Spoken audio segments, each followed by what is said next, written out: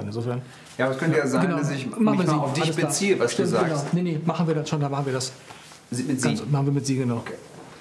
Okay, das Cover auch rein. Kamera läuft. Wunderbar. Zehn Minuten. Ich zeige die letzten zwei Minuten Yes. und die letzte Frage. Wunderbar. Ja, da ist er jetzt. Christoph Maria Herbst. Bin ich froh, da war das ab. Beim letzten Mal äh, am Roten Teppich Filmstiftung so ein Bart, der Stimmt. gejuckt und gekratzt hat. Ich habe mich selbst nicht erkannt. Das war für einen Buchspazierer, genau. Da habe ich ähm, einen kleinen Alterssprung erzählen müssen und deshalb da hat der Bart dann ganz gut her. Was war denn das schlimmste Barterlebnis in dieser Zeit? Das schlimmste Barterlebnis mit dem Bart, den ich da trug, war der, der sich mir, das hatte ich dir, glaube ich, da auch schon am Teppich erzählt, äh, mir mir den Bart eigentlich äh, Tag für Tag von der Haut hätte kratzen wollen, weil meine Haut ist es einfach nicht gewöhnt, so einen Vollbart zu tragen. Mein Kopf äh, mittlerweile auch nicht mehr gewöhnt, volles Haar zu tragen.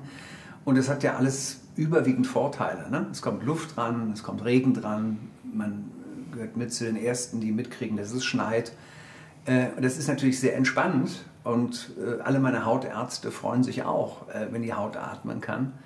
Ähm, aber wie heißt es so schön, wenn es der Wahrheitsfindung dient, äh, muss man sich auch mal einen Bart wachsen lassen und das war für diese Rolle sehr richtig. Aber den Dieter Salzmann in Ein Fest fürs Leben, den habe ich glatt rasiert und wie aus dem Ei gepellt spielen müssen und spielen können. Was auch viel besser aussieht. Dieter Salzmann, äh, ein Hochzeitsplaner am Rande des Nervenzusammenbruchs. Ähm, was ich so schön fand, diese ganzen Menschen, die darin gezeigt werden, die kenne ich auch in meiner Firma. Das ist sozusagen so diese typischen Archetypen. Wie, wie sehr ähm, hat man das auch schon mal selber so erlebt? Also ich sag mal so einen Menschenschlag irgendwie im Umfeld, wenn nicht sogar am Set.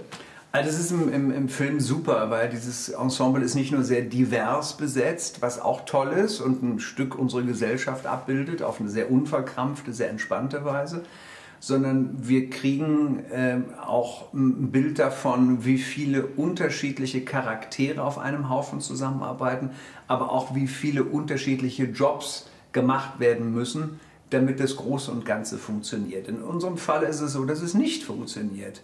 Das kann aber damit zusammenhängen, dass wir eine Komödie gedreht haben. Und ein Film, in dem alles so funktioniert, wie man sich erwartet hat, nennt man gemeinhin ja nicht Komödie. Also bei uns äh, geht alles drunter und drüber. Und der Dieter Salzmann, den ich spiele, der ist halt von Hause aus Wedding Planner und hat Jahrzehnte Berufserfahrung auf dem Buckel, also der weiß dann wirklich, wie es geht. Hat aber nur das Problem, dass er an dem Tag dieser Hochzeit, die wir im Film erzählen, er morgens schon aufsteht und feststellt, "Ah, ich bin nicht die beste Version meiner selbst am heutigen Tag. Und äh, dieses erste Pärchen, mit dem er sich dann auch unterhält, gespielt von Bettina Lamprecht und äh, Wotan Wilke Möhring, die geben dann ja schon ganz gut vor, dass dieser Film, beziehungsweise diese Geschichte, die wir erzählen, erzählen, in einem absoluten Tohuwabohu enden muss. Und so kommt es dann ja auch. Zur Freude der Zuschauerschaft, weil das kennen wir selbst aus dem Kino. Wir freuen uns immer darüber, wenn anstatt meiner gerade irgendeine Tragödie erlebt und ich selbst jetzt nicht in dieser Situation bin. Ich will jetzt den Schluss auf keinen Fall spoilern, aber Dieter denkt ja auch daran, aufzuhören.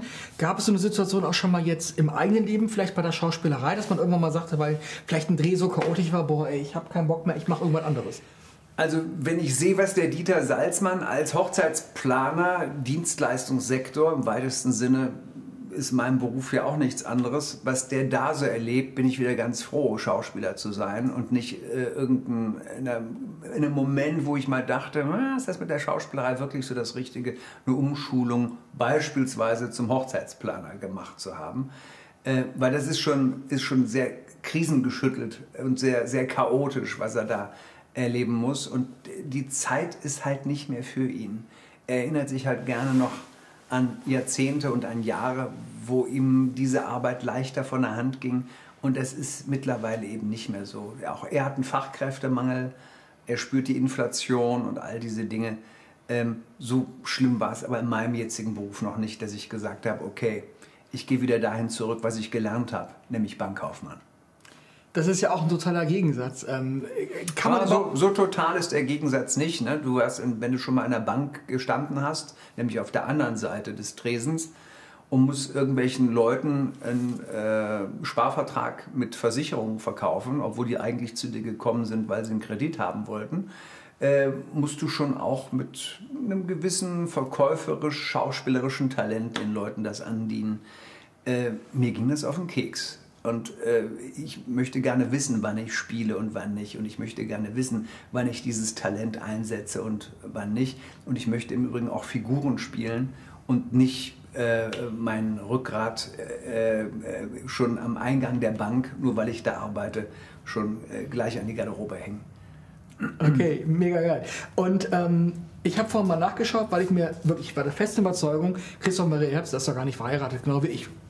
So, jetzt gucke ich nach und sehe, seit elf Jahren. Wahnsinn, ne? Wahnsinn. Äh, noch Erinnerungen an die eigene Hochzeit? Wie war das? Chaotisch vielleicht auch ein bisschen oder so? Also ich kann nur davon abraten, die äh, Hochzeiten zu groß aufzuhängen. Es wird dir um die Ohren fliegen. Ja? Also erstens ist das auch nach außen hin ein eher zweifelhaftes Bild, das du von dir selbst abgibst, wenn du da jetzt ein Riesenschloss anmietest und so total auf dicke Hose machst und so weiter äh, es, es kann nur in die Hose gehen, auf die du eigentlich machst. Ähm, und äh, eine Hochzeit sollte der romantischste und intimste Moment in, im Leben der sich Liebenden sein. Und das würde ich dann auch so intim und klein halten wollen. Abgesehen davon, dass bei so großen Feierlichkeiten kannst du nie allen gerecht werden. Du lädst dann zu so einer Hochzeit beste Freunde ein, die du vielleicht auch lange nicht gesehen hast, weil die vielleicht ins Ausland gegangen sind oder was auch immer. Du lädst, musst Verwandtschaft einladen, die du vielleicht in deinem Leben noch nie gesehen hast und dich hinterher auch irgendwie fragst, äh, äh die hätte ich auch besser mal nicht kennengelernt. Also es stimmt ja alles, was man sich über sie oder ihn erzählt hat. Und auf niemanden kannst du dich wirklich konzentrieren. Aber es ist doch der wichtigste Moment. Es ist doch ein singuläres Erlebnis. Genau damit spielen wir in dem Film ja auch, ne? dass das eben deswegen so dramatisch ist, dass den Beteiligten das so um die Ohren fliegt. Also, wenn man es wirklich, ich, ich finde es schöner, und so war es auch bei mir, das als Konzentrat zu halten und, und das, diesen wichtigsten Moment mit dem wichtigsten Menschen dann in dem Moment auch zu teilen. Also war das dann eher so eine kleine kuschelige Veranstaltung? Ähm, ich liebe ja diese Set-Anekdoten. Ich weiß bei vielen Komödien gerade, was eben so leicht aussieht, ist zum Teil wirklich schwer zu machen. Gab es da auch vielleicht so hinter den Kulissen, ich sag mal, ein paar Pannen, die man beheben musste, Dinge, die nicht funktioniert haben, die eigentlich funktionieren sollten oder sowas?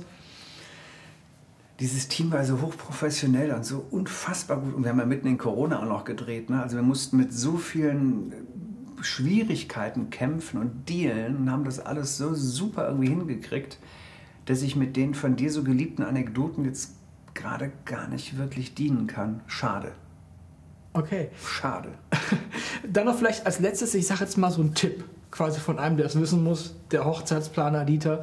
Welchen Tipp ähm, würdest du den Leuten draußen geben, eben damit sie ihre Hochzeit halt eben schön feiern können, damit das nicht so in die Hose geht wie in ein Fest fürs Leben? Also, äh, wenn ihr eine Hochzeit erleben wollt, würde ich mal sagen, die ähm, die hängen bleibt, an die ihr euch auch noch Jahre, Jahrzehnte erinnert, dann blast die Hochzeit total auf. Mietet ein Schloss, arbeitet mit Stretch-Limos, ähm, ladet die ganze Verwandtschaft ein, auch Leute, die ihr noch nie gesehen habt, weil da wird eine Menge schieflaufen. Und an diese Hochzeit werdet ihr euch immer erinnern, wenn es das ist, was ihr wollt.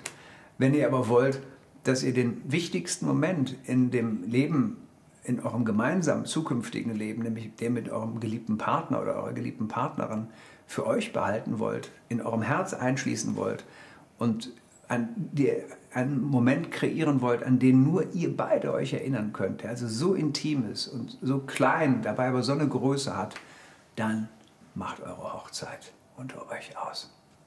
Super. Vielen herzlichen Dank. Sehr gerne. Wunderbar. Juhu. Sag mal eine klitzekleine Privat